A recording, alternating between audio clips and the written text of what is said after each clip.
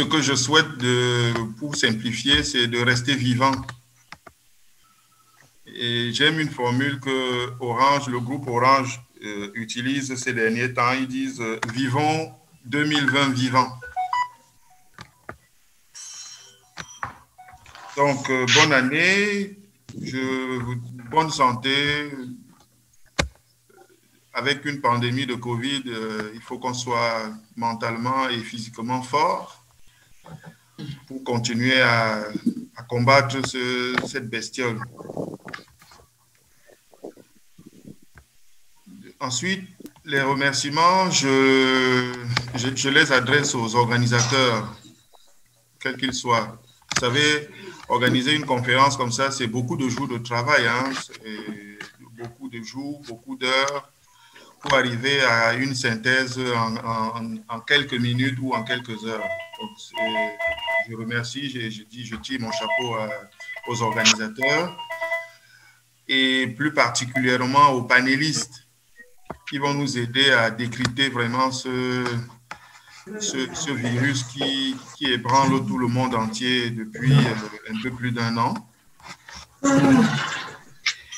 Et remerciement aussi aux participants euh, à cette, euh, à cette conférence. On est déjà 45. Je pense qu'on va, on va franchir le cap de 50 ou de 60, ce qui est déjà pas mal.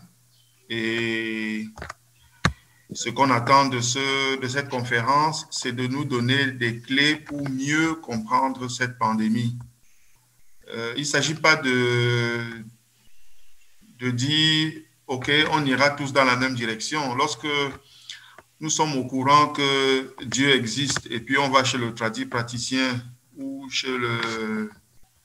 Euh, on prend n'importe quelle direction, au moins on sait que Dieu existe et on prend la direction qu'on veut en connaissance de cause. C'est à peu près ça que euh, nous on compte.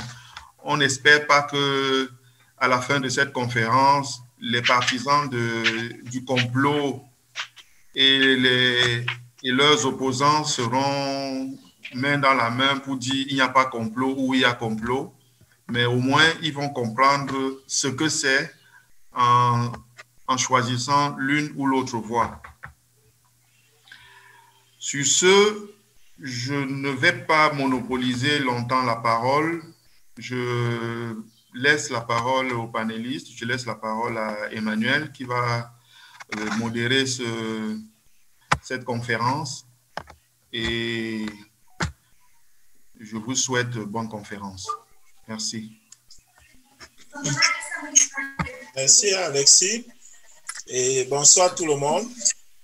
Euh, bienvenue euh, pour cette première, notre premier webinaire qui est en fait le premier d'une série.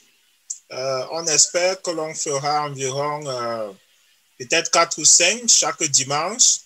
la raison pour laquelle on a décidé de faire une série, c'est parce qu'il y a, on parle peut-être d'une maladie, mais les contours autour de cette maladie sont énormes.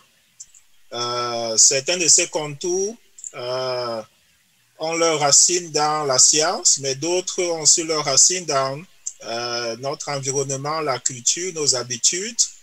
On va essayer d'aborder différents sujets. Aujourd'hui, on va juste aborder de façon sommaire différents points, juste pour lancer un peu la conversation.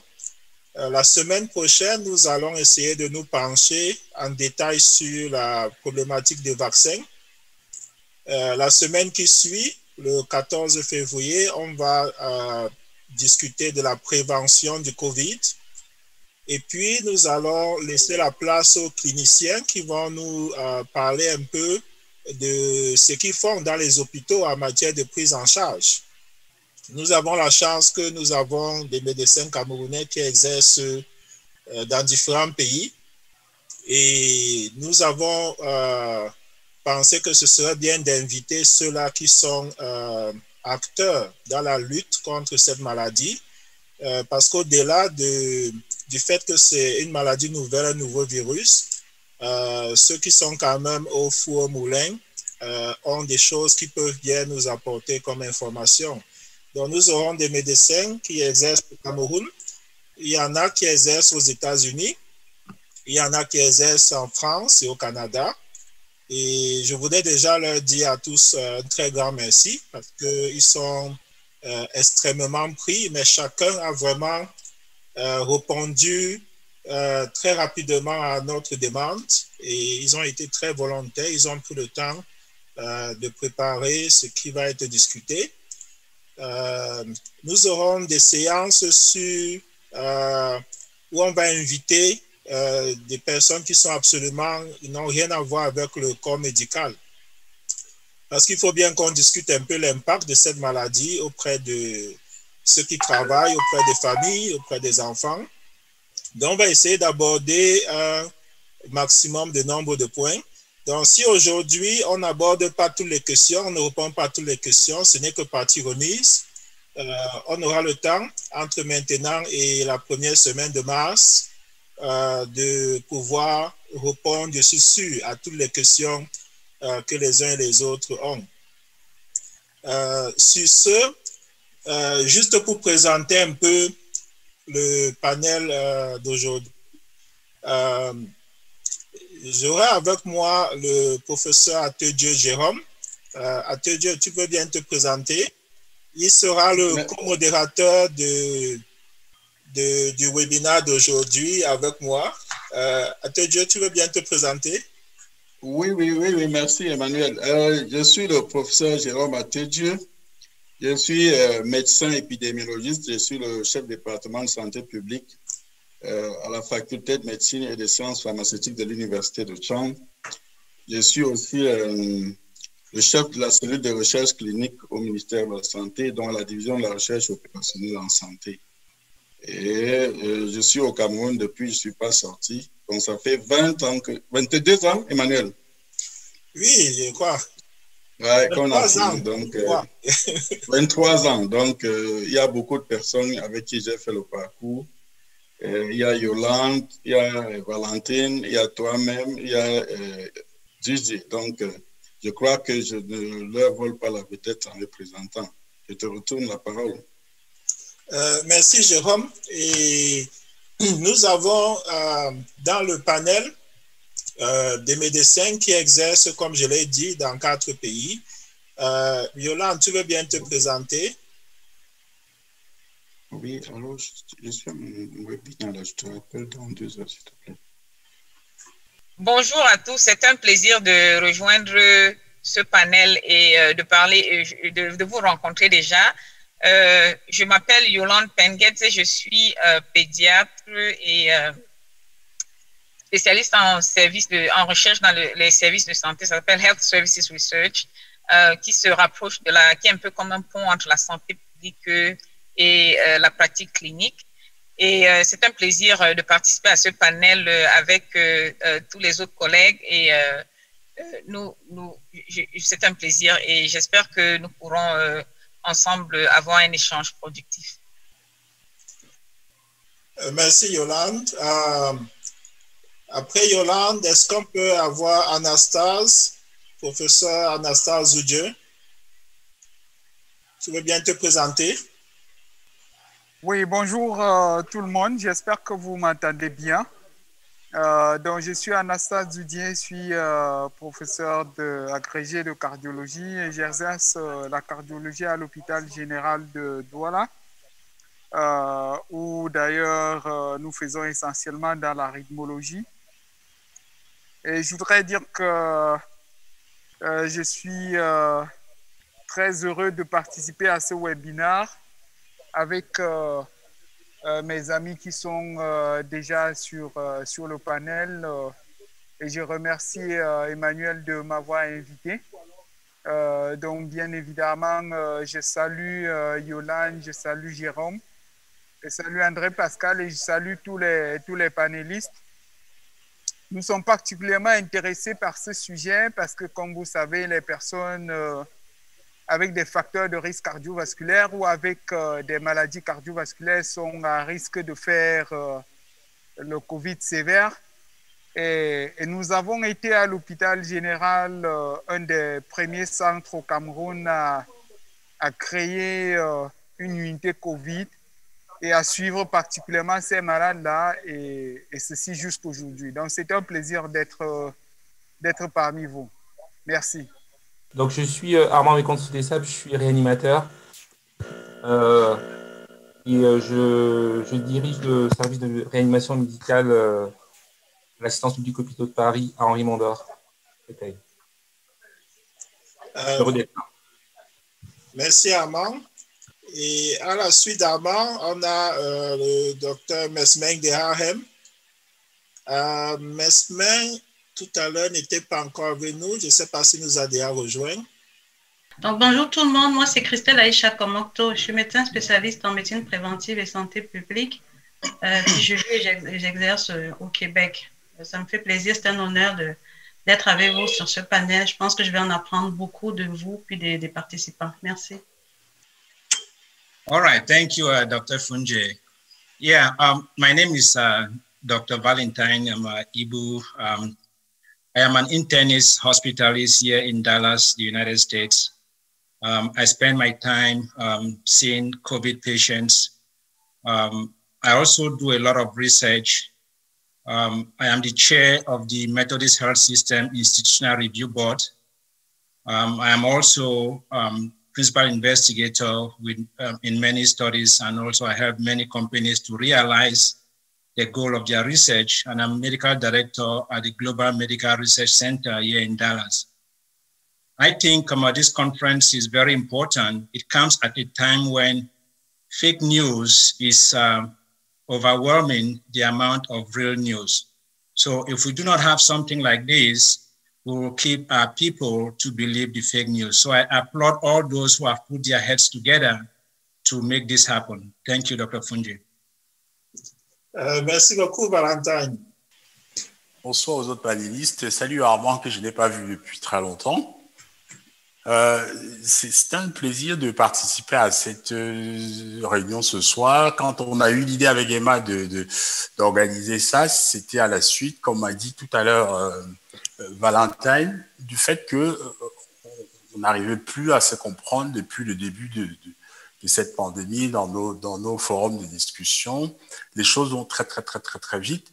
Et quand Emma a eu l'idée qu'on puisse s'asseoir, comme il a proposé, euh, un soir, un après-midi comme ça pour discuter, pour essayer de se comprendre, comme a dit Alex, d'essayer de, de voir si on peut encore réconcilier les gens depuis le début.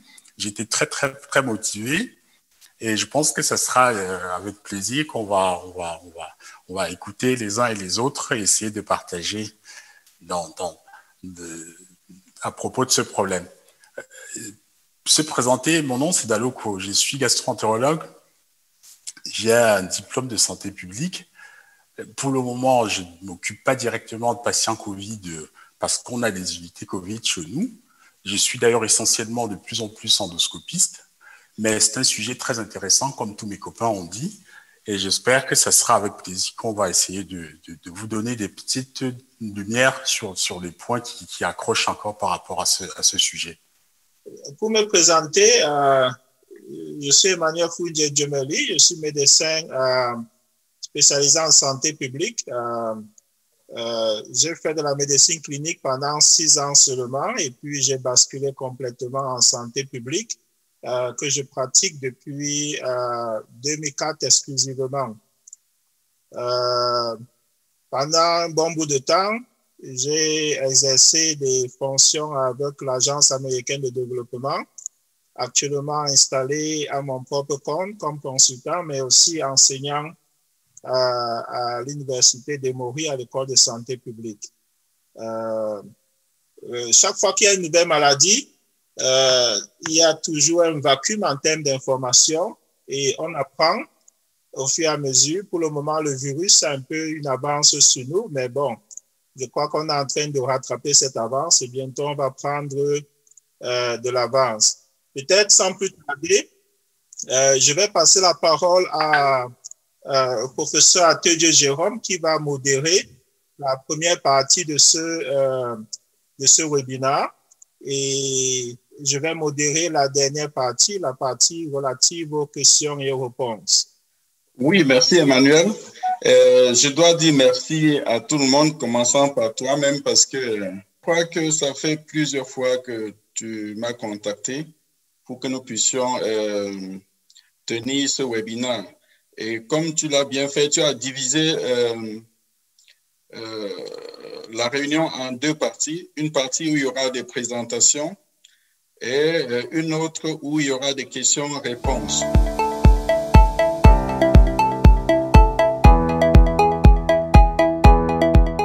Dire vraiment euh, une fois de plus merci à, euh, à, vous euh, pour votre invitation. il m'a été demandé de vous présenter quelques aspects sur l'aspect moléculaire du virus lui-même. C'est difficile, j'espère que vous m'entendez.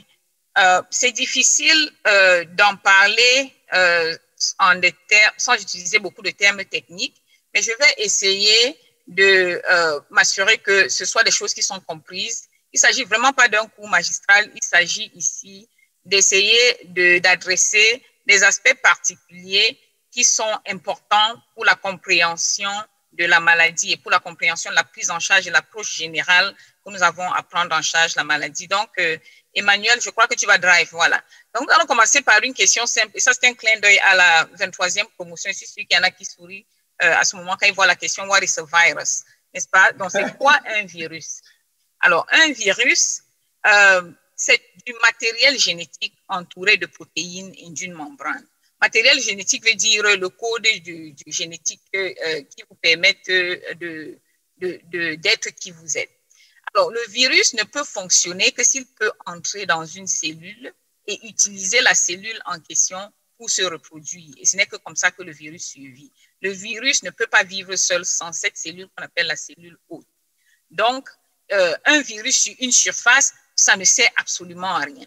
Un virus ne vit que quand il est entré dans une cellule et vous comprendrez donc euh, euh, les éléments de l'approche pour la prise en charge ou la prévention du virus. prochaine slide, Emmanuel. Donc, le, coronavirus, qui, le virus responsable du COVID-19, c'est le SARS coronavirus. SARS, c'est une abréviation qui veut dire Severe Acute Respiratory Syndrome, c'est-à-dire euh, des, des, problèmes respiratoires sévères, un syndrome respiratoire sévère et aigu causé par le coronavirus. Alors, ce, euh, nous avons eu des cas de SARS avant, mais celui-ci, on l'appelle SARS coronavirus 2, a pris plus d'ampleur que les autres parce que il a la capacité à se propager. Mais c'est un virus qui a, qui a, qui a comme matériel génétique ce qu'on appelle de l'ARN. Et l'ARN, c'est juste une forme de matériel génétique qui normalement est temporaire. C'est-à-dire que vous avez de l'ARN dans votre système, il va disparaître dans un temps relativement court.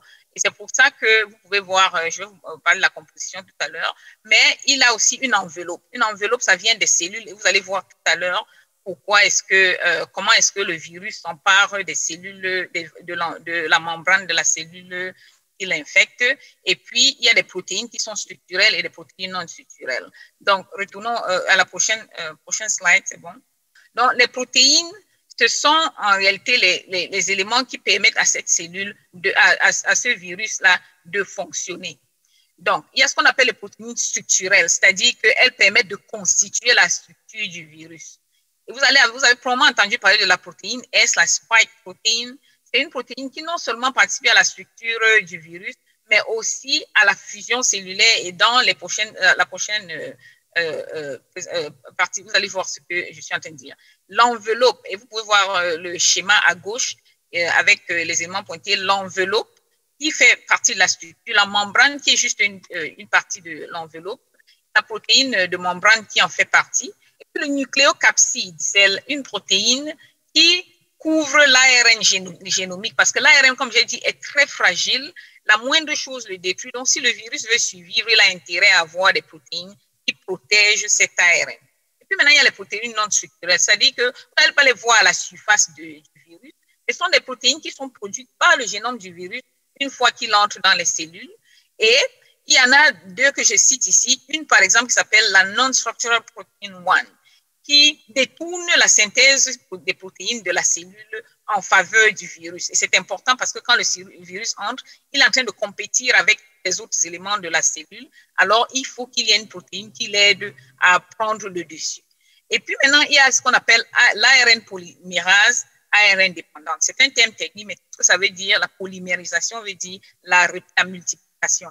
Donc, c'est la, protéine qui aide le matériel génétique à se replier qui aide aussi ce matériel génétique à être utilisé pour produire les éléments qui seront importants pour, la, pour reconstituer le virus. Donc, la prochaine euh, euh, slide, slide va vous montrer, euh, voilà. Donc, voici la réplication virale. À gauche, voilà toute l'histoire qui vous est racontée. Donc, de haut en bas, le virus arrive.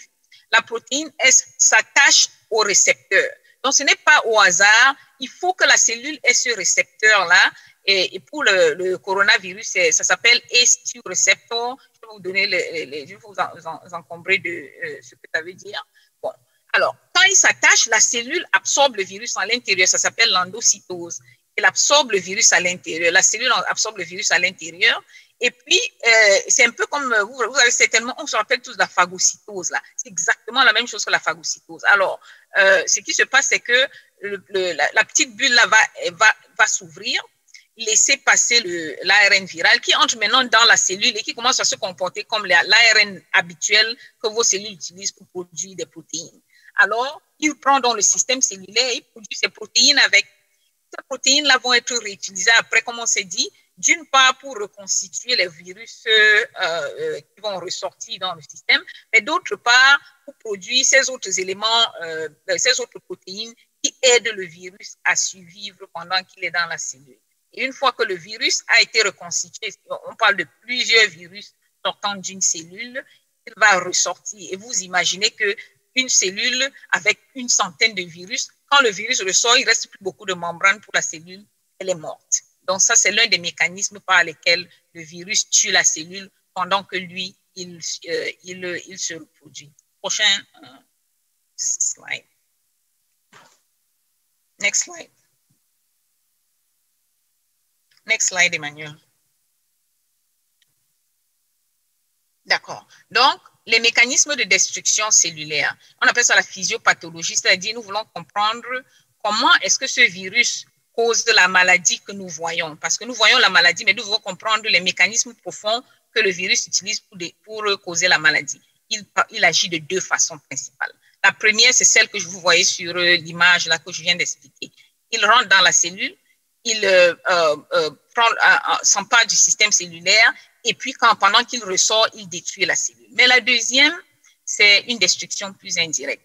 Donc le virus est sorti, la cellule est morte. Notre système, notre corps, organisme est tel que chaque fois qu'une cellule meurt, il faut qu'il y ait une réaction qui vienne non seulement nettoyer ce qui est mort, mais identifier les éléments qui ont tué cette cellule-là pour pour les attaquer afin que d'autres cellules ne soient pas attaquées. Mais il se trouve que dans le cas du coronavirus, certaines personnes, leur organisme entre en ce qu'on appelle overdrive. Ils, mais ils déversent de grosses quantités d'éléments qu'on appelle les cytokines qui vont créer une inflammation générale qui, par exemple, va causer de l'œdème, c'est-à-dire un, euh, de, de l'eau qui vous rentre dans les poumons et qui vous donne des difficultés à respirer.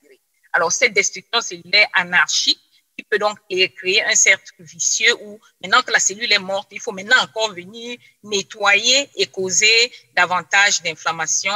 Et vous allez comprendre les implications tout à l'heure dans la prise en charge. Mais je voulais ici indiquer qu'il y a deux cellules, deux types de cellules principales qui portent le récepteur du coronavirus euh, 2 ce sont les cellules épithéliales. Les cellules épithéliales veut dire les cellules qui recouvrent la surface. Par exemple, votre peau a des cellules épithéliales, votre langue a des cellules épithéliales, votre tube digestif à l'intérieur comme à l'extérieur ont des cellules épithéliales, votre, euh, vos voies respiratoires. Donc, ces cellules épithéliales respiratoires et digestives ont beaucoup de ces récepteurs, d'où le fait que les symptômes du coronavirus sont essentiellement respiratoires et digestifs. Cependant, un clin d'œil à nos euh, collègues, les cardiologues, euh, professeur Zoudier. Le, le, récepteur ACE2 se retrouve aussi dans les artères. Ceci peut expliquer pourquoi les hypertendus, les gens qui ont des problèmes, des maladies cardiovasculaires, ont une tendance à avoir une mortalité ou une morbidité beaucoup plus élevée avec le coronavirus. Ce n'est qu'une partie de l'explication, mais ça en fait certainement partie. Prochaine, euh, next slide. Donc, cible thérapeutique. Pourquoi, comment est-ce que nous pensons euh, quand nous traitons le coronavirus, quand nous, nous euh, préparons, pendant la création du traitement du coronavirus? Alors, nous pensons, hey, il faut bloquer les choses qui sont importantes pour ce virus sans pour autant s'attaquer aux choses qui sont importantes pour la cellule. Parce que vous voulez pas tuer le virus et la cellule, vous voulez tuer le virus, mais épargner la cellule. Alors, première euh, approche, bloquer la protéine S, c'est-à-dire l'empêcher de s'attacher à son récepteur. Et nous le faisons de deux façons. Vous allez voir une schématique tout à l'heure, de deux façons. Soit en utilisant des anticorps qui sont euh, les immunoglobulines que nous connaissons, euh, l'organisme a produit des anticorps pour se défendre. Monoclonaux veut simplement dire que euh, on s'est arrangé à ce que on ne produise qu'un seul type d'anticorps qui cible une seule partie spécifique de cette protéine-là et on veut bien cibler la partie qui s'attache au récepteur. Et puis, il y a les sérums convalescents. Le sérum convalescent veut dire, si tu as eu le COVID et que tu t'en es sorti, alors nous présumons que tu as produit suffisamment d'anticorps pour te défendre contre le COVID. Et si nous prenions un peu de ces anticorps et nous les passions à quelqu'un d'autre, euh, cette personne pourrait mieux se défendre contre le COVID. Et dans ce cas-là, ce n'est pas monoclonal parce que ce sont des anticorps que tu as produits contre toutes les protéines du COVID que nous sommes en train d'utiliser, mais avec un peu de chance, quelques-uns de ces anticorps vont cibler la protéine S et l'empêcher de, euh, de, fonctionner. Et puis, il y a bloqué l'ARN polymérase, cette protéine-là qui aide euh, le virus à se répliquer. Si vous empêchez au virus de se répliquer, c'est terminé. Euh, parce que le virus, une fois plus, ne peut rien faire tout seul. Alors, c'est le cas, par exemple, vous avez probablement entendu parler du Remdesivir, ce médicament qui avait été développé par les Américains qui a démontré un certain degré d'efficacité plus ou moins important. Euh, euh, euh, il y a encore un peu de débat par rapport à ça, mais c'était la cible thérapeutique. Et le troisième, c'est la deuxième, vous vous rappelez, la deuxième façon dont le virus nous cause des problèmes, c'est en mettant notre organisme en overdrive, tel que nous nous autodétruisons. Alors, nous voulons réduire cette réaction immunitaire excessive et c'est la raison pour laquelle on administre des corticostéroïdes, aux gens qui ont des infections respiratoires sévères au COVID. Next. Alors, les mutations. D'entrée de jeu, il faut le dire. Les mutations, c'est ce que les virus font le, de mieux. Un virus mutera et c'est naturel. C'est ce qu'ils font. Pourquoi? Parce que les virus, au contraire de, l'organisme humain, qui euh, se reproduit de façon très fidèle, c'est-à-dire que on ne rencontre pas beaucoup d'erreurs d'une cellule à l'autre parce qu'on copie fidèlement euh, euh, le code génétique, les virus n'ont pas le mécanisme que les cellules ont pour copier fidèlement leur code génétique. Donc, ils ont tendance à faire beaucoup de mutations. Et euh, ces, mutations-là, et, plus ils se répliquent, plus il y a des mutations. Je vais vous donner une implication épidémiologique. Ça veut dire que si on est dans une communauté où tout le monde va être infecté, parce que le nombre de virus qui se seront multipliés dans cette communauté est élevé, le nombre, le risque qu'il y ait des mutations euh, importante qui se crée devient plus élevée. Donc, la prévention a des implications même au niveau moléculaire. Alors, les mutations, pas que les mutations sont importantes. Les mutations sont importantes pour un virus quand elles affectent l'un de ces quatre, l'une de ces quatre caractéristiques. Un, la contagiosité. Est-ce que ça rend, la mutation rend le virus plus contagieux? Nous allons voir, avoir un petit cas de, un petit exercice dans quelques minutes. Deux, la sévérité de la maladie. Est-ce que la mutation cause la maladie euh, euh, fait que la maladie soit un peu plus sévère? Ou la réponse au traitement, est-ce que la, mutation affecte la façon dont le virus ou l'organisme répond au traitement et quatre, la réaction immunitaire, y compris la réaction au vaccin? Toutes ces quatre-là sont les aspects les plus importants qui ont des implications cliniques et épidémiologiques. Prochaine slide. Alors, euh, je voudrais qu'on parle de quelque chose d'intéressant, c'est comment est-ce que ces mutations euh, euh, s'associent à l'affinité. Je vais parler brièvement de l'affinité et la charge virale. Alors, c'est quoi la charge virale? C'est simplement le nombre de virus que tu trouves dans, dans un endroit. Alors, la charge virale est importante. Alors, je voudrais que nous fassions un petit exercice. Imaginons trois charges virales. Imaginons que vous êtes en train de marcher au supermarché et puis euh, vous recevez une de ces trois charges virales-ci. L'un, c'est un aérosol. Aérosol veut dire des microparticules. Qu'on ne voit même pas, traversent rapidement et qui vont très loin et se retrouver à, un mètre, quelqu'un ici, l'éternue est à un mètre, tu reçois ça dans, euh, dans tes voies respiratoires. La deuxième, c'est une gouttelette, là, un peu proche de toi, à 500, très proche de toi, et vous êtes en, train de bavarder, et la gouttelette te tombe dans les voies respiratoires, c'est-à-dire dans les narines, dans la bouche, je m'excuse, ça peut être un peu embêtant, mais bon, voilà. Et puis le troisième, c'est une grosse goutte Imaginez que la personne éteigne tout droit sur votre visage et vous essuyez ces gouttes-là et puis il y en a une qui vous passe dans la narine. Alors, je vais vous demander, je vais vous demander de taper dans le chat. Je vous donne à chacun 10 secondes pour me répondre. Laquelle de ces trois euh, euh, euh, charges virales est plus à même de vous causer une infection? Vous avez 10 secondes pour taper quelque chose dans le chat. Je voudrais m'assurer que personne ne dort.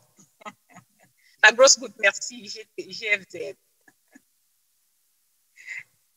Qui d'autre? L'aérosol, d'accord. Qui d'autre? Donc, la réalité, c'est que l'aérosol, certainement, va plus loin, mais la quantité de virus là-dedans est tellement petite que euh, ça pourrait ne pas vous infecter. Parce que souvenez-vous que le virus s'approche à un récepteur et rentre dans les cellules. Si plus tu as de virus dans une, dans une, surface, plus il y a des chances qu'au moins un de ces virus-là s'attaque. Par contre, moins il y a de virus, moins il y a de chances que ce virus-là développe une infection. Parce que vous vous souvenez, quand le virus rentre dans vos voies respiratoires, votre organisme va s'en prendre au virus pour essayer de se défendre. Alors, imaginez que vous ayez 10 000 virus. Votre organisme peut en détruire, peut même les détruire.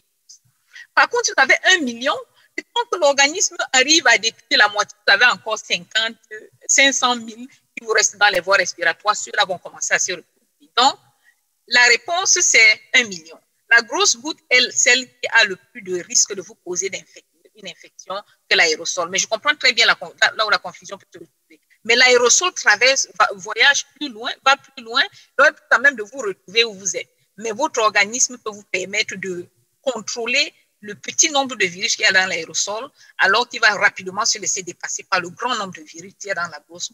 Donc, plus petite est la charge virale euh, euh, que, vous recevez, moins est votre risque d'infection.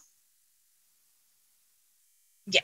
Donc, je voudrais ajouter ceci. Je voudrais ajouter que, euh, poser la question, comment est-ce que vous pensez que le port, du masque peut affecter la charge virale infectieuse? Est-ce qu'il augmente? Est-ce qu'il la diminue? Je vais répondre en disant il la diminue. C'est-à-dire que parce que vous avez porté le masque, la goutte ne passera pas, la gouttelette ne passera pas. Il n'y a que l'aérosol qui passera et votre organisme peut facilement contrôler ça et vous permettre d'échapper à l'infection elle-même. Donc, les mesures de prévention épidémiologique que nous avons euh, couramment réduisent la charge virale au site de l'infection. Prochain slide. prochain, next slide, Emmanuel. Alors, prochaine question. Imaginez donc une mutation de la protéine S qui augmente son affinité pour le récepteur. Augmenter l'affinité veut dire qu'il fasse que la protéine peut s'accrocher plus rapidement et plus solidement au récepteur. Qu'est-ce que vous pensez qui va arriver de cette mutation-là comparée au virus original? Est-ce que vous pensez que, euh, à cause de cette mutation, euh, vous avez besoin de moins de virus pour être infecté ou de plus de virus pour être infecté? Répondez dans le chat, s'il vous plaît. Je vous donne 10 secondes. Merci. Vous avez effectivement, vous avez, vous avez en réalité besoin de moins de virus pour être infecté. ça peut avoir l'air un peu confus, mais quand l'affinité augmente, votre connexion est plus efficace, donc vous avez besoin de beaucoup moins de virus pour être infecté. Ça veut dire que si avec l'ancien virus, euh, vous aviez besoin d'un million pour être infecté, avec le nouveau virus, 100 000 suffisent, n'est-ce pas? Et ça veut donc dire que vous avez un virus qui est beaucoup plus contagieux et beaucoup plus euh, efficacement transmis. Et donc, il va dominer les autres virus. Et je voudrais donc une application pratique. Vous avez certainement entendu de mutant anglais. Euh, je ne sais pas si ça s'appelle exactement comme ça, mais ils appellent ça UK euh, variant. Donc, ce mutant a 17 mutations. 8 de ces mutations sont sur la protéine S et une d'entre elles a été identifiée qui augmente l'affinité de la protéine S pour euh, son récepteur. Prochain slide, Alors ça, c'est l'inverse inverse qui demande, et si l'affinité diminuait plutôt à cause de la mutation, à ce moment, on aurait besoin de plus de virus pour être infecté parce que le peu de virus qu'on avait avant euh, ne, serait plus euh, euh, suffisant pour vous infecter. Alors, les mutants les moins infectieux ont une implication épidémiologique. On en a parlé tout à l'heure. On s'est dit, s'il y a beaucoup de transmission dans la communauté parce que les gens ne portent pas les masques et qu'il y a beaucoup de réplication virale, vous aurez beaucoup de, de, de, mutations. Donc, le taux, et, donc, ça fait que les mutants les moins infectieux vont disparaître au profit des mutants les plus infectieux. Donc, l'épidémie s'aggrave. Par contre, si la transmission communautaire est basse, un mutant comme celui-ci peut aider à ralentir l'épidémie. Donc, la prévention est importante une fois de plus de ce point de vue moléculaire. Euh, prochain slide, s'il vous plaît. Je crois que je suis en train d'aller au-delà du temps imparti. Alors, la sévérité de la maladie, c'est la même chose. La mutation à protéine S si ça prévient l'affinité de la protéine S avec des anticorps antiprotéines S, parce que votre système immunitaire ne peut plus contrôler l'infection, vous aurez affaire à une infection sévère. Et le mutant anglais, il se trouve à une mutation également de la protéine S qui permet à votre, au virus d'évader, euh, de, s'échapper de votre système immunitaire et, et que le système, le, votre système ne puisse plus le contrôler. Next slide. Next slide. Prochain slide.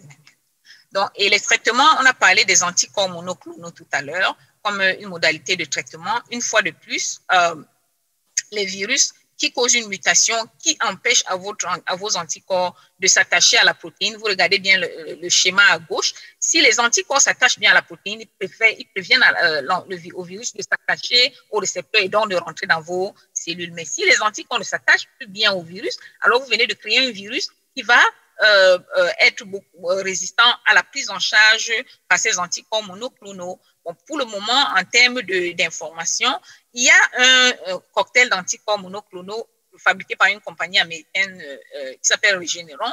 Alors, pour le moment, il a été testé contre le mutant anglais et le mutant sud-africain. Et ces deux euh, mutants sont toujours sensibles au Regeneron. Mais il y a d'autres anticorps monoclonaux qui sont utilisés par ailleurs, mais pour, les, pour lesquels ces deux mutants sont résistants. next slide. Le sérum convalescent, les sérums convalescents dus au virus original ne protègent plus contre les variants anglais et sud-africains. Ce qui veut dire, je m'explique, ça veut dire malheureusement que si vous avez déjà eu le Covid et vous croyez être protégé, un de ces mutants peut, toujours vous causer une infection parce que votre sérum convalescent qui est censé vous protéger ne semble pas protéger contre euh, euh, euh, cette, cette mutation de la protéine S. Next. Et les vaccins, on parlera des vaccins euh, la semaine prochaine, je crois, mais ceci, c'était juste pour vous donner euh, une image de ce qui se passe avec les vaccins. C'est que le vaccin sera là à poursuivre les mutations, exactement comme les traitements sont là à poursuivre les mutations, mais nous en parlerons euh, plus la semaine prochaine. Il y aurait une dernière slide qui vous donne juste quelques éléments de conversation et j'espère qu'on pourra en parler plus tard. C'est quelques mythes. Le mythe numéro un, c'est par rapport au vaccin à l'ARN. Monde a dit ça peut modifier le génome humain. J'ai entendu euh, ça de, certains scientifiques, mais la réalité, c'est que le vaccin n'a pas de reverse transcriptase. La reverse transcriptase, c'est une euh, enzyme qui est importante pour convertir l'ARN en ADN. Et l'ADN, c'est ça qui fait partie de notre génome. Vous ne pas convertir un ARN en ADN, vous ne pouvez pas l'insérer dans le génome. Donc, à l'heure où nous parlons, euh, les vaccins à ARN, nous le savons, ne peuvent pas être modifié votre euh, le génome humain. Et puis, les masques ne protègent pas naturellement. J'espère que la conversation par rapport à la charge virale vous a donné euh, la preuve que les, masques protègent et le, sous-bassement euh, que les masques protègent. il a été démontré que les masques protègent à plus de 80%. Merci et désolé d'être allé au-delà du temps.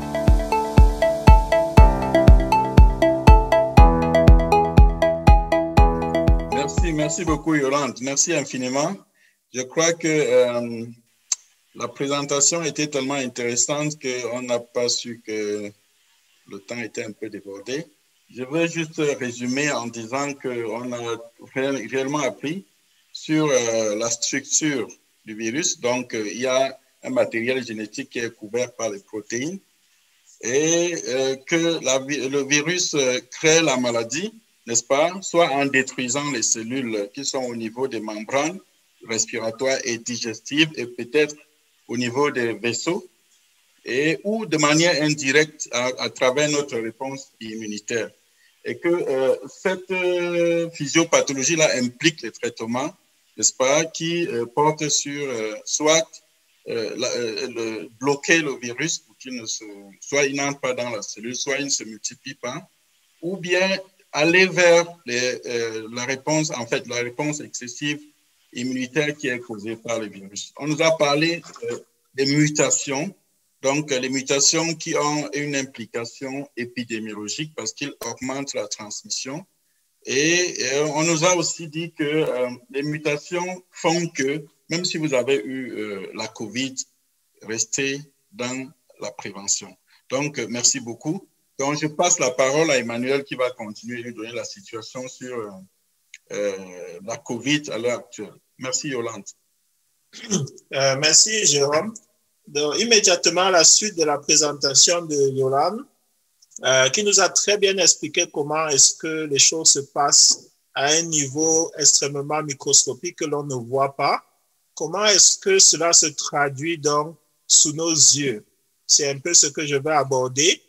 Euh, juste pour résumer, euh, que le COVID-19 est un virus qui est assez contagieux euh, généralement, on peut résumer ça en disant que chaque personne contaminée, s'il n'y a pas de mesures de prévention mises en place, peut contaminer deux à trois personnes, voire quatre personnes euh, à la suite de sa contamination. Euh, la rougeole est beaucoup plus contamineuse que le, le COVID-19 le COVID-19 est beaucoup plus contamineux que le, la grippe saisonnière. Euh, pour comprendre un peu comment est-ce que ça se passe au niveau communautaire. Euh, on a une personne qui est contaminée, voilà la première personne qui est contaminée. Il va en retour contaminer trois à quatre personnes. On voit là la deuxième génération de personnes contaminées. Chacune des quatre personnes contaminées va aussi en retour contaminer trois à quatre personnes. Donc, on voit donc ce, qu'on appelle la croissance exponentielle. Euh, c'est une croissance exponentielle, elle est mathématique. Si rien n'est fait pour bloquer la transmission, le nombre de personnes contaminées ne peut qu'augmenter. Ça ne peut pas diminuer. Euh, il n'y aura pas de miracle là qui va pouvoir diminuer ça. C'est absolument mathématique et euh, et c'est assez simple à comprendre de cette manière. Bien sûr, c'est plus compliqué que cela, mais ça, c'est un peu euh, euh, la façon la plus simple que l'on puisse présenter cette complexité dans la transmission et le passage du virus d'un individu à d'autres individus. maintenant, supposons que pour des raisons multiples, on est 75% de personnes dans cette communauté qui soient euh, protégées. Euh, qu'est-ce qui va se passer? Euh, c'est que au lieu de contaminer quatre personnes, cette personne contaminera uniquement une. le virus va bien sûr être transmis de cette personne à cette personne, mais cette transmission ne sera pas efficace. Donc, cette personne ne tombera pas malade. On voit donc ici, on aura juste 25% de personnes qui seront contaminées et là aussi en retour. On a donc moins de personnes contaminées dans cette communauté par rapport à cette communauté. Euh, comment arrive-t-on à avoir donc moins de personnes contaminées euh, dans une communauté par rapport à une autre? Euh, supposons que voici une communauté où on a une personne qui contamine une deuxième génération, une troisième génération, une quatrième génération. Vous voyez, ça va très, très vite en termes de nombre de personnes contaminées, on passe d'une personne à des dizaines de milliers de personnes très rapidement. Alors, qu'est-ce qui se passe? Supposons que cet individu décide, après avoir été contaminé, décide simplement de ne pas euh, de travailler de la maison. Parce qu'il travaille de la maison, il ne sera pas en contact avec celui-ci et il ne sera pas contaminé parce qu'il ne sera pas contaminé, il bloque donc automatiquement la chaîne de contamination qui aurait pu se mettre en place à partir de lui. Euh, imaginons donc aussi qu'à la suite de cela, une autre personne décide de ne pas aller au barbecue ou, ou à l'anniversaire ou au mariage auquel il a été invité. Cette personne va aussi bloquer la chaîne de transmission du virus et protéger donc une grande partie de la population à la suite de sa décision. Supposons que cet individu devait voyager et décide de ne plus voyager. Il ne sera donc pas exposé et va donc aussi automatiquement bloquer la chaîne de transmission. Et celui-ci décide de rester à la maison. Vous voyez qu'en fait, on n'a pas besoin d'une population entière qui obéit à toutes les mesures de prévention pour pouvoir être très efficace dans le blocage de la propagation du virus d'un individu à un autre. Ici, c'est une courbe qui montre un peu euh, que pour pouvoir atteindre euh, le niveau où on a une grande proportion de personnes qui sont euh, protégées dans une communauté, qui empêche donc la transmission du virus, euh, il nous faudra atteindre 60, entre 50 et 70% euh, de personnes qui sont, qui sont déjà protégées, immunisées euh, contre l'infection au COVID-19. on peut voir sur cette diapositive comment est-ce que ça se compare par rapport aux autres maladies. par exemple, la rougeole, où on a besoin d'avoir 95% de personnes qui sont immunisées avoir dans cette immunité communautaire ou immunité de la population ou alors head immunity, euh, comme on l'appelle euh, couramment.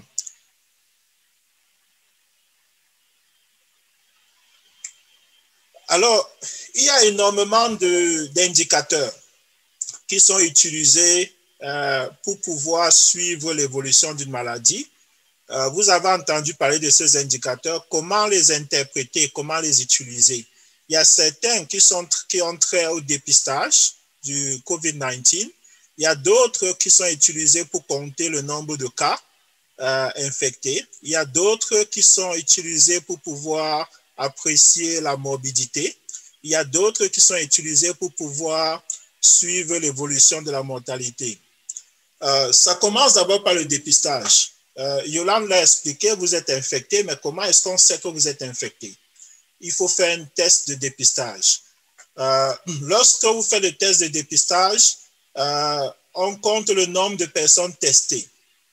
Euh, nous avons vu, souvent, on essaye de faire des comparaisons. bon, voilà, les États-Unis ont testé 100 millions de personnes. Ils ont testé plus de gens que la France qui a testé. Je ne connais pas le nombre exact. mais disons, un pays A a testé 10 millions, un pays B a testé 50 millions. Et puis on se dit, le pays B a testé plus de personnes. Mais ce n'est pas comme ça qu'on fait la comparaison en fait. Il faudrait qu'on tienne en considération la population de ce pays et qu'on divise dans le nombre de personnes testées par le nombre total d'habitants pour avoir donc euh, un chiffre euh, relatif. Et c'est le chiffre relatif qui est beaucoup plus important que le chiffre absolu. Euh, quand vous faites la division, vous verrez donc que, oh, par exemple, pays B a testé 100 euh, habitants par 1 million d'habitants, alors que l'autre pays a testé 50 par 1 million. Là, vous pouvez essayer de faire la comparaison. Encore que jusque-là, ce n'est toujours pas suffisant pour pouvoir comparer deux pays parce que vous ne prenez pas ici en considération d'autres paramètres euh, qui sont très importants pour pouvoir faire ce genre de comparaison. En général, en épidémiologie, on ne compare pas ce qui se passe dans deux pays parce que les contextes sont différents, l'environnement est différent. Yolande a parlé de facteurs de susceptibilité à l'infection et ces facteurs diffèrent déjà d'un individu à un autre. Alors vous imaginez euh, sur des millions d'individus, donc c'est pratiquement impossible, ça n'a pas de sens épidémiologiquement de comparer deux pays. Et on le fait généralement pas. Euh, en termes de nombre de cas, infectés, il y a aussi une, notion très importante ici. Est-ce qu'on connaît le nombre exact de cas infectés? La simple réponse est non. Il y a une seule chose qu'on peut faire pour savoir le nombre de cas infectés, c'est tester tout le monde dans une population. Euh, et ça, c'est impossible. Euh, on ne l'a jamais fait pour aucune maladie. Euh, même pour le VIH, sur lequel je travaille depuis plus de 23 ans, on n'a toujours pas réussi à tester toute la population de chaque pays. Je ne connais pas un seul pays qui a déjà testé toute sa population par rapport au VIH. Donc, ce qui veut dire que même dans 20 ans, on n'aura toujours pas testé tout le monde pour déterminer si vous avez tous le Covid ou pas. Euh, c'est quelque chose qui est logistiquement difficile et impossible. Alors, qu'est-ce qu'on fait pour déterminer donc la proportion de la population qui est infectée, ce qu'on appelle prévalence, ou alors le nombre ou alors la proportion de nouvelles infestations sur une période donnée par rapport à la population, ce qu'on appelle incidence. Euh, ce qu'on fait, c'est qu'on peut faire un survey de la population à un moment précis. On prend un échantillonnage, on teste parmi cet échantillonnage et les résultats qu'on obtient, on, donc, on essaie donc de projeter ces résultats sur la population totale. Et cela peut nous permettre d'obtenir l'incidence et la prévalence. Euh, jusqu'ici, aucun pays n'a fait ce genre d'analyse, ce qui veut donc dire qu'aucun pays ne sait avec précision quelle est la proportion de personnes réellement infectées. Euh, tout le reste, ce sont que des projections qu'on fait en utilisant le nombre de cas confirmés à partir du nombre testé et on essaie de diviser ce nombre de cas par la population pour voir un peu le nombre de cas confirmés par un million de personnes et on fait des extrapolations sur des proportions. Mais comme je l'ai dit, il y a d'énormes euh, problèmes de qualité euh, par rapport à ces données et je vais y revenir. Donc, il faudrait qu'on fasse très attention quand on utilise ces, euh, ces chiffres et ces données. La morbidité, c'est le nombre de personnes hospitalisées. Euh, ceci aussi sont très importantes. Euh, j'entends souvent, on dit, bon, écoute, on peut laisser les gens s'infecter, c'est pas grave. Euh, là où ça peut être grave, c'est que vous avez un système sanitaire dans un pays avec un nombre bien précis d'hôpitaux et que ça prend quand même un certain nombre de temps pour pouvoir construire un hôpital, former des médecins, former du personnel. Si vous laissez les gens s'infecter, ça peut être, ce sera en, priorité votre personnel de santé qui sera infecté parce qu'ils sont les plus exposés. Ce qui veut donc dire que vous décidez donc de détruire vos soldats. Lorsque vous l'aurez fait, le virus va donc prendre le dessus sur votre système de santé. Euh, vous pouvez avoir tellement de malades qui vont arriver le même jour dans vos structures sanitaires qu'il ne sera pas possible de les prendre en charge au même moment. Et je pense qu'on a vu au début de l'épidémie euh, la, situation qui était très catastrophique et déplorable qui s'est passée dans la majorité des pays où les hôpitaux étaient surchargés. Euh, donc, ces facteurs de morbidité peuvent aussi aggraver euh, l'ampleur et l'impact de l'épidémie au niveau d'un pays. La mortalité, c'est le nombre de décès. On regarde le taux de létalité, le taux de mortalité. Et généralement, il faut bien distinguer euh, ceux qui décèdent par rapport à ceux qu'on a testés, ceux qui décèdent par rapport à ceux qui sont arrivés à l'hôpital et ceux qui décèdent par rapport à la population totale.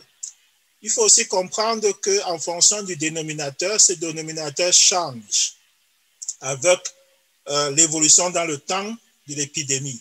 Au début de l'épidémie, on ne dépiste pas beaucoup parce qu'il faut du temps pour fabriquer ces tests, pour les mettre sur le marché. Au départ, on n'avait pas de tests et il a donc fallu du temps pour que chaque pays puisse produire des tests et les mettre sur le marché. au fur et à mesure qu'on teste, on a donc le dénominateur par rapport à ces taux qui change, qui augmente. Et ça fait donc cet élément à lui seul euh, fait aussi changer ces taux de euh, ces, différentes proportions que l'on a. Et parfois, on a l'impression que la, la, mortalité, le taux de mortalité a diminué, alors qu'en fait, ce n'est pas le cas. Ce qui se passait simplement, c'est qu'au début, on avait simplement un dénominateur qui n'était pas correct, simplement parce qu'on ne testait pas suffisamment. Et on peut aussi avoir l'impression que la mortalité a diminué euh, simplement parce qu'au niveau du numérateur, qui est le nombre de cas euh, qui décèdent, ce nombre de cas peut diminuer effectivement parce qu'on a une meilleure maîtrise de la prise en charge et parce qu'au fur et à mesure qu'on avance dans le temps, on apprend et on met ce qu'on a appris en pratique pour le bénéfice des malades. Donc, Jolande a abordé cela sur le plan de la biologie moléculaire. Euh, juste résumé pour dire qu'il y a donc des facteurs de risque. Euh, ces facteurs de risque ne veulent pas dire que lorsque vous les avez, vous allez automatiquement attraper la maladie. Ça veut simplement dire que comparé à quelqu'un qui n'a pas ces facteurs de risque, vous avez une meilleure probabilité, si vous êtes exposé et si vous attrapez la maladie, de faire des formes graves de cette maladie. Euh, il y a des facteurs de comorbidité. Si vous avez le diabète, l'hypertension artérielle, les maladies cardiaques, bronchopinopathie chronique obstructive, la tuberculose, l'obésité. Si vous faites partie du groupe sanguin O, euh, on a remarqué que parmi les malades hospitalisés, le groupe sanguin O n'est pas très représenté, ce qui pourrait laisser penser que le groupe sanguin OO peut être un facteur protecteur. On a aussi remarqué que ceux qui ont le groupe sanguin A sont plus représentés parmi les malades hospitalisés, donc ce pourrait très bien être un facteur euh, de risque ici-là. L'âge, les patients âgés par rapport aux patients non âgés ont plus de risques de faire des maladies euh, à forme grave. Ça ne veut pas dire que quelqu'un qui est jeune n'aura pas la maladie, pas du tout. Au contraire, euh, tout le monde est susceptible d'attraper cette maladie. Ça veut simplement dire que celui qui est âgé a plus de susceptibilité de faire la forme grave. Euh, la carence en vitamine D a aussi été identifiée comme un facteur de risque et bien sûr les activités sociales. Euh, si vous n'arrêtez pas d'aller au cinéma, dans les anniversaires, les mariages, les voyages, tout cela constitue des facteurs de risque. Alors, très important, euh, ça c'est une euh, illustration que euh, j'ai mis ensemble juste pour expliquer un peu la complexité des, des tests de dépistage, mais aussi l'interprétation des tests en fonction de l'histoire naturelle de cette maladie. Chaque maladie a une histoire naturelle. vous attrapez une maladie, la maladie évolue, et l'évolution de la maladie, ça peut aller vers le sens de la guérison ou alors vers le sens de la mort. Euh, c'est ce qu'on appelle l'histoire naturelle de cette maladie. Euh, que l'on vous traite ou pas, il y a une histoire naturelle. Et maintenant, s'il y a des interventions en matière de prévention, en matière de traitement, cette histoire naturelle peut aussi aller dans un sens ou dans l'autre, que ce soit la guérison ou la mort, ou alors ne même pas attraper la maladie du tout. Donc, si on suit l'histoire naturelle du COVID-19, vous avez ici sur 35 jours, on suit un peu l'évolution du malade et puis on fait des tests. En bleu, ça représente la proportion des antigènes. Antigènes ici représentent un peu les protéines dont Yolande nous parlait. Euh, quand il s'agit des tests, on, les, on résume ça en les appelant antigènes. Euh, vous voyez, le taux d'antigènes augmente jusqu'à atteindre un pic et puis redescend pour disparaître autour du 28e jour. Le pic est atteint autour du 13e jour. Euh, cette augmentation du nombre d'antigènes représente la phase de multiplication du virus dans votre organisme. Et on voit que quand le virus apparaît, cela prend environ 6 jours à 7 jours pour que l'organisme commence à produire des anticorps. Si vous avez bien suivi la présentation de Yolande, ces anticorps, c'est ça qui va nous protéger contre ces antigènes. Donc, on voit les anticorps qui commencent à augmenter. Ça, c'est les anticorps à IgM qui sont les premiers qui apparaissent et ils disparaissent aussi au bout euh, du 22e jour. Euh, mais on voit bien que leur augmentation coïncide avec la diminution des antigènes euh, qui représente donc ici dans la destruction du virus. Et puis, il y a un deuxième type d'antigène, les IgG, qui apparaissent à partir du 13e jour, vont prendre le relais sur les IgM et vont continuer à mener cette bagarre contre les virus, euh, vont atteindre un pic qui coïncide au moment où on voit aussi la disparition des antigènes du virus dans notre organisme. Et ces antigènes euh, IgG, ces anticorps vont rester dans notre organisme pour une durée qui est jusqu'à présent euh, non déterminée, on ne le sait pas encore.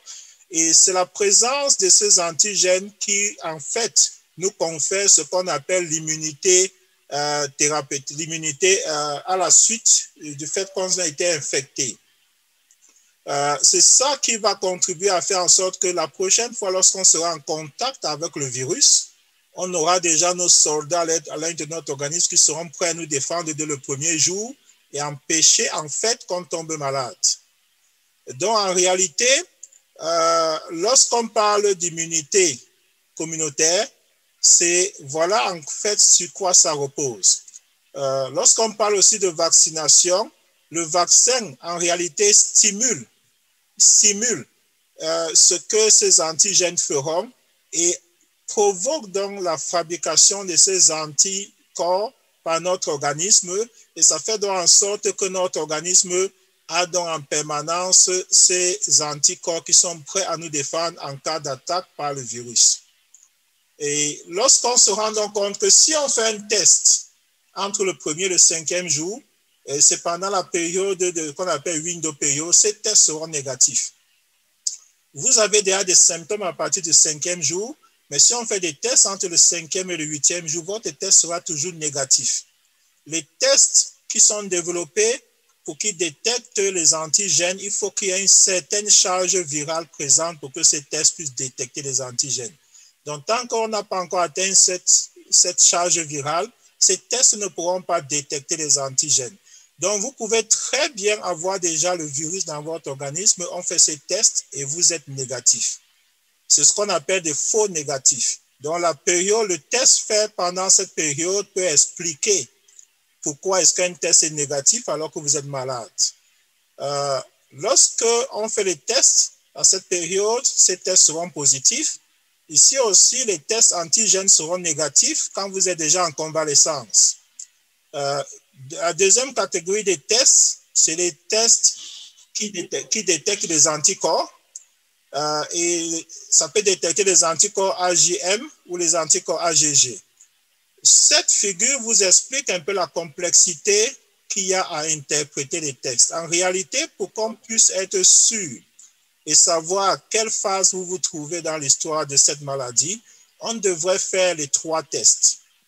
Mais logistiquement, c'est pratiquement impossible de faire trois textes pour chaque personne euh, qui se présente à l'hôpital. Généralement, on fait un texte et c'est complexe à, interpréter, mais le médecin a en plus de ce résultat les symptômes, l'histoire de la maladie et d'autres paramètres qu'il utilise et met ensemble pour donc poser un diagnostic.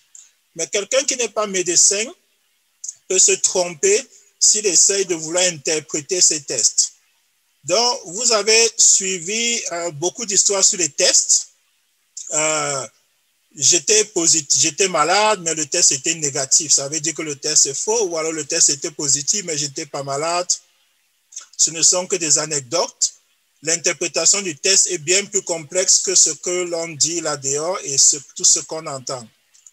Euh, la suite, je présente un peu ici cette table qui permet un peu de voir les différents euh, scénarios dans l'interprétation des tests. Et vous voyez dans la complexité qu'il y a à pouvoir interpréter ces tests.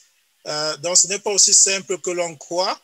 Et cela peut donc permettre de comprendre pourquoi est-ce qu'il y a beaucoup de tests qui sont positifs quand en réalité, euh, euh, ça devrait être négatif et vice-versa. En plus de cette complexité, il faut savoir que tout le monde n'est pas testé. il y a ceux qui font la maladie, mais ne présentent pas de symptômes, ils sont asymptomatiques. Ils représentent approximativement 50% des personnes infectées. Ceux-là ne seront pas testés. Donc, lorsqu'on dit qu'on a euh, dans un pays 10 000 cas, ils ne sont pas comptés. 50% de ceux qui, sont infectés ne sont pas du tout comptés dans ce nombre qui est, euh, reporté par la plupart des pays. Vous avez aussi 30% qui font des formes mineures et modérés de la maladie. Généralement, ceux-là ne vont pas à l'hôpital. Là, dans la majorité des cas, ils ne vont donc pas être testés. La plupart du temps, les pays testent ceux qui se présentent à l'hôpital Et ceux qui se présentent à l'hôpital sont généralement ceux qui font les formes sévères. Euh, parce qu'ils commencent à avoir des difficultés à respirer. Il n'y a pas moyen de rester à la maison, vous êtes obligé d'aller à l'hôpital. Donc, c'est généralement ceux-là qui sont euh, dépistés, qui sont testés et qui sont donc comptés dans ces chiffres que l'on voit qui sont reportés par les pays. Donc, la majorité de ceux qui sont infectés, pratiquement 80%, ne sont pas testés. Maintenant, parmi ceux qui sont testés, chaque test a ce qu'on appelle la sensibilité et la spécificité. La sensibilité du test, c'est la capacité du test à détecter ceux qui sont négatifs. Et la plupart de ces tests ont des sensibilités autour de 80%. Ce qui veut donc dire que ces tests vont nous dire qu'ils sont négatifs et dans 20 à 30% de cas, ce sont en fait de faux négatifs. Donc, si vous faites un test, ça dit que c'est négatif, ça ne veut pas dire à 100% que vous êtes négatif. Il y a aussi la spécificité. La spécificité, c'est la capacité du test à prédire de manière exacte ceux qui sont positifs. Heureusement, la plupart de ces tests sont très spécifiques, entre 95 et 98 ce qui veut donc dire que lorsque ces tests disent que tu es positif, la probabilité que tu sois effectivement positif est très proche de 100% Donc voilà un peu comment il faut interpréter ces tests. Il y a déjà les difficultés par rapport au moment où on fait le prélèvement et qui rend l'interprétation du test et le résultat du texte très complexe. Il y a aussi la, spécificité et la sensibilité du texte. Tout ça mis ensemble, il n'y a personne qui pourra... Emma, s'il te plaît, après toi, a fini, s'il te plaît. D'accord. On est à 50 minutes, oui. D'accord. Donc, tout ça mis ensemble, cela vous donne dans la complexité euh, que présente l'interprétation de ces résultats. Donc, dans la suite, je vais juste vous montrer certaines données. Euh, nous allons vous donner la source pour accéder à ces données. Euh, ces, euh, ces, équipes de chercheurs font un travail excellent de collecter les données qui viennent de tous les pays et de vous prêter ce genre de présentation qui est accessible à tout le monde. Et, mais dans l'interprétation de ces résultats, souvenez-vous de ce que je viens de vous présenter en disant que ces chiffres sont sous-estimés extrêmement sous-estimé. Euh, vous avez les cas confirmés euh, qui sont présentés. Je vais passer rapidement là-dessus. Ça, c'est juste une graphe qui présente un peu le nombre de cas confirmés. Euh, j'ai pris juste des pays d'Afrique centrale et d'Afrique de l'Ouest, parce que si on veut voir ces pays, c'est mieux de mettre des pays qui sont géographiquement proches l'un de l'autre. vous voyez ici, par exemple, des cas confirmés en fonction des continents. Euh, bien sûr, l'Amérique du Nord et l'Europe ont le plus grand nombre de cas confirmés jusqu'ici. Euh, le nombre de cas confirmés par fonction de la taille, euh, ici c'est, je m'excuse, il y a, donc ici vous avez ces différentes données que je vais, on va vous envoyer les, les références. Pour une question de temps, je voudrais pas insister sur ces chiffres parce que de toute façon, ces chiffres sont extrêmement sous-estimés. Euh, je vais un peu m'attarder ici une seconde sur le, le, case fatality rate.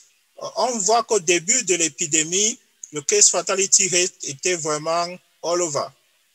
Euh, et puis après, depuis novembre, on se rend compte que les pays ont un case fatality rate qui est presque similaire. Ceci veut seulement dire que ceci représente plusieurs paramètres. Déjà, le fait qu'on ne testait pas suffisamment, qui euh, avait un impact sur le dénominateur, mais aussi le fait qu'on a une meilleure euh, appréciation de ce qu'il faut faire pour prendre en charge les malades, euh, qui joue donc sur le numérateur.